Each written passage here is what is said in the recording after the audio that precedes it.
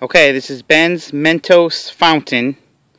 Ben's going to go over there and pull the string, which is going to pull the pin out of the tube, and the Mentos are going to fall into the soda, and there's going to be a big explosion, I guess, of all the carbon dioxide, which is going to shoot the soda out of the tube and up into the air. So, I think it's going to be big.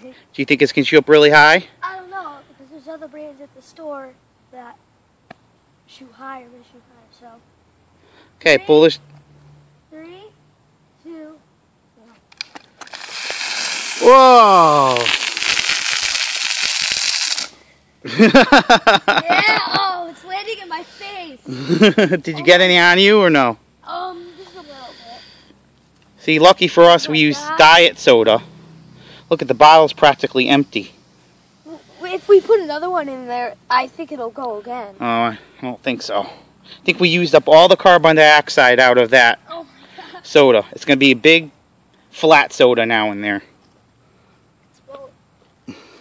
We use Diet Cola so it wouldn't be too sticky so we won't have bees coming all over the place. So, Alright, that's our science experiment for today.